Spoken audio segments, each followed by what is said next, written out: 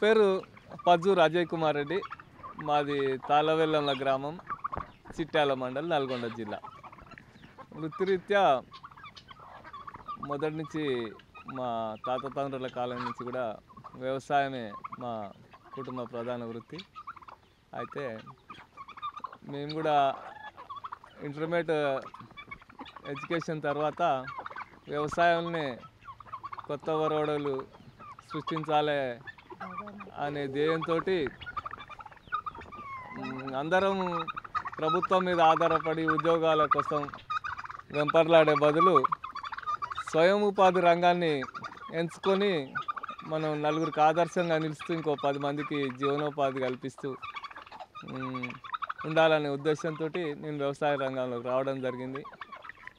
వ్యవసాయంలో మా దగ్గర చెరుకు అనేది తెలియని పరిస్థితులలో నేను ఫస్ట్ చెరుకును ఇంట్రడ్యూస్ చేసి ఎకరానికి తొంభై టన్నులు అత్యధిక దిగుబడి సాధించడం జరిగింది.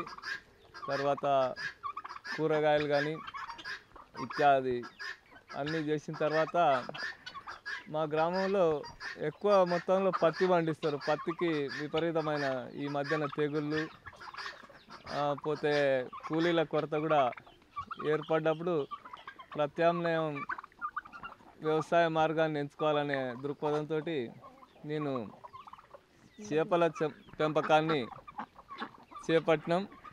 దాంతోపాటు మనం మంచి ఫ్రెష్ మీట్ కానీ గుడ్లు కానీ మనం తింటూ ఇంకో నలుగురికి అందించాలి అనే ధ్యేయంతో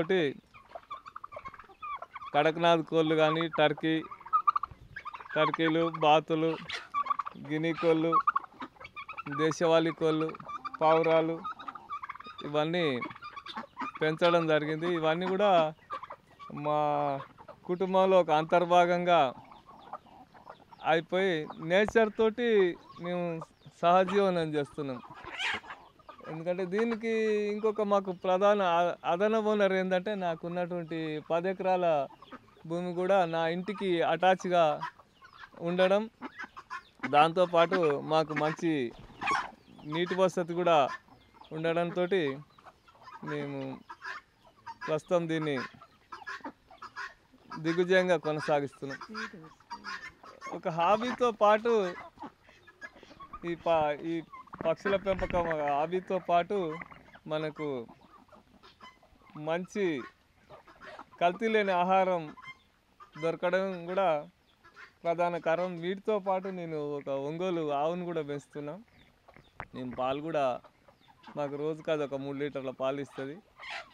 మేము కా పాలు నెయ్యి పెరుగు ఇవన్నీ మా కుటుంబ అవసరాలకు ఇంకొక నలుగురికి మేము అందియగలుగుతున్నాం తాజా కల్తీ లేని పాలు.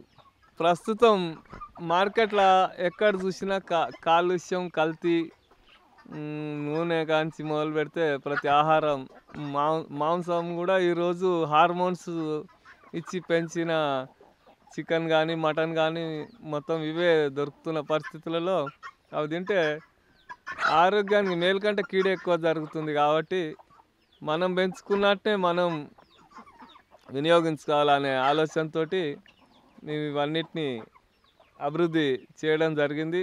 అందులో మాకు ఒకటే అబ్బాయి ఆయన కూడా యుఎస్లో ఉంటాడు కాబట్టి మాకు కూడా ఒక వ్యాపకంతో పాటు పొద్దుపోవాలనే ఆలోచనతో కూడా ఇవన్నిటిని మేము ఒక పిల్లల లెక్కనే పెంచుతున్నాం. మాకు వీటితోటి మంచిగానే కాలక్షేపం అవుతుంది మంచి ఆహారం కూడా దొరుకుతుంది.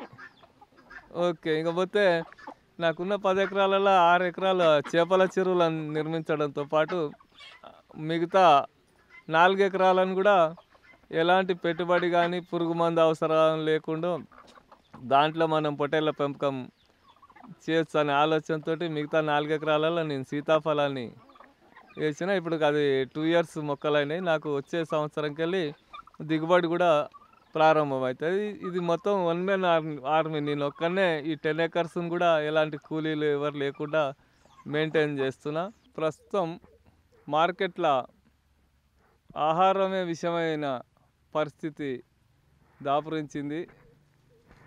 స్వార్థం కోసం విచక్షణ రహితంగా రసాయన ఎరువులు పురుగు మందులను వాడడంతో మనను ఏదైతే కాపాడే ఆహారం ఉందే అదే ఆహారం మన కా కాలుష్యంతో మన ఆరోగ్యాలను ఖరాబు చేసే పరిస్థితి దాపురించినందుకు బాధపడుతూ ప్రతి రైతు కూడా తనకున్న కమతంలో ఒక నాలుగు గుంటలో ఐదు గుంటలో ఈ విధంగా అన్ని రకాల పండ్ల మొక్కలను పెంచుకుంటే వారి కుటుంబ అవసరాలు తీరడంతో పాటు ఇతర బంధుమిత్రులు కూడా ఎంతో కొంత కల్తీ లేని ఆహారాన్ని అంది అందించిన వారు అవుతారు అందులో భాగంగా అదే ఆలోచనతోటి మాకున్నటువంటి ఇంటికి ఆనుకొని ఉన్న ఐదు గుంటల భూమిలో ఒక పది పన్నెండు దానిమ్మ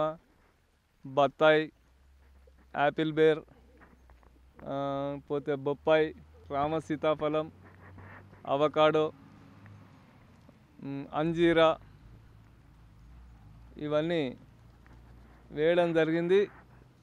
ఆల్రెడీ మేము మాకు పంట కూడా అంది. మేము ప్రతిరోజు బ్రేక్ఫాస్ట్తోగా ఏదో ఒక ఫలాన్ని సీజనల్ వైజ్గా వచ్చే ఫలాన్నే మేము తింటున్నాం. దీంతో తప్పకుండా ఈ నేచర్ ప్రకృతి తోటి సహజీవనం చేస్తే ఆయుష్ ప్రమాణం ప్రతి వ్యక్తిది కూడా పెరుగుతుంది. ఈరోజు సిటీలో చూస్తే టోటల్గా సిక్స్టీ పర్సెంట్ కార్బన్ మోనాక్సైడే మిళితం అయిపోయింది ఎందుకంటే విచ్చలవిడిగా ప్రతి రోజుకు కొన్ని వందల కొత్త వాహనాలు రోడ్ల మీదకి రావడం పొగ పొగ వెదజల్లడం దాంతో మొత్తం కాలుష్య కాసారంగా పట్టణాలు మారిపోతున్నాయి కాబట్టి ఆఫ్టర్ ఫిఫ్టీ ఇయర్స్ ప్రతి ఒక్కరు కూడా ఫామ్ హౌస్ కల్చర్కు మళ్ళీ ఎంతో కొంత ఎకరం రెండు ఎకరాలు అందుబాటులో ఉన్న గ్రామ గ్రామాలకు వచ్చి ఫామ్ హౌజులు చేసుకొని ప్రశాంత జీవితం వాళ్ళు సంపాదించిన కాడ సంపాదించిన తర్వాత ఆ పట్టణం జీవితాన్ని వదిలి ప్రశాంత జీవనం కోసం పల్లెటూరులో బాట పడితే బాగుంటుందని నా సందేశం.